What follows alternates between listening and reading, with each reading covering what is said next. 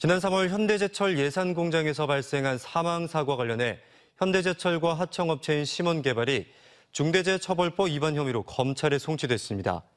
대기업이 중대재해처벌법 위반 혐의로 검찰의 수사를 받게 된 것은 이번이 처음입니다. 앞서 지난 3월 5일 현대제철 예산공장에선 하청업체 소속 20대 노동자가 금형 보수 작업 중 철골 구조물을 깔려 숨지는 사고가 발생했습니다.